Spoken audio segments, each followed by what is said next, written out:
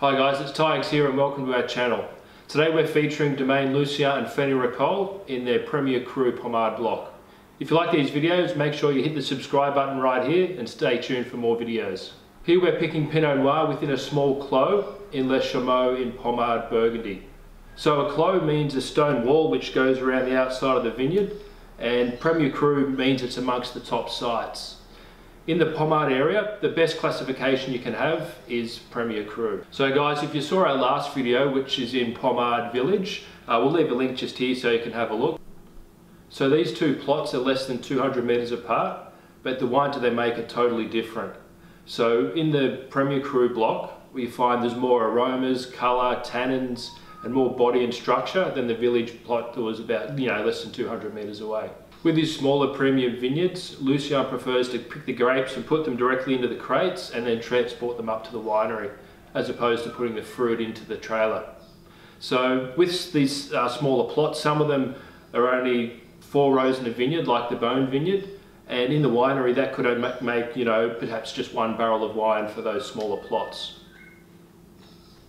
The best vineyards in Burgundy are classified as Grand Cru because of their terroir.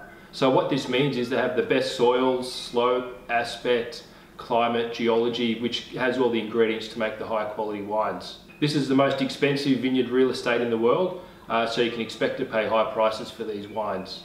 So those top Grand Cru vineyards, they represent about 2% of the total production. Sitting just below this, we have Premier Cru classification. So these are also excellent sites for viticulture and you can find some amazing wines through this classification in Burgundy. So the vineyards that don't make the cut for the Grand Cru or Premier Cru classification, these are either going to be classified as a village plot or as regional. So if you know the producers, you can find excellent value throughout these wines.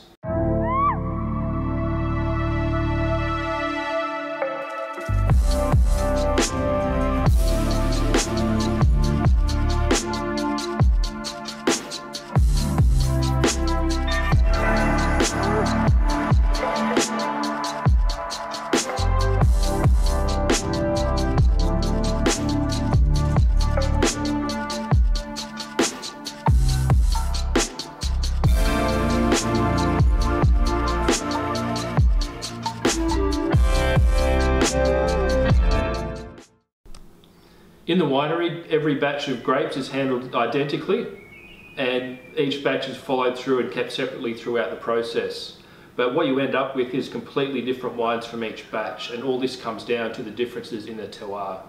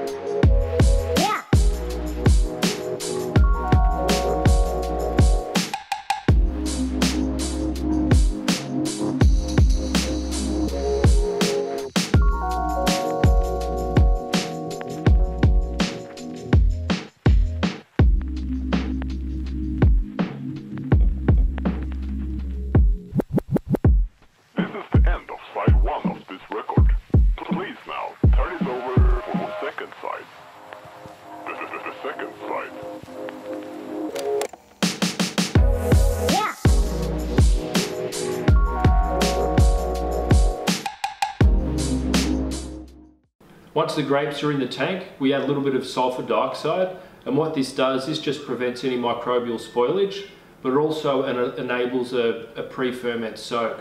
So what I mean by this, it just prevents fermentation for a few days, and that gives you a head start on the extraction of the colour and the tannin from the skins.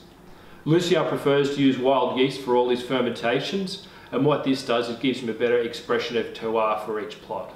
Stay tuned for more episodes, guys, where you'll see a bit of action from within the winery.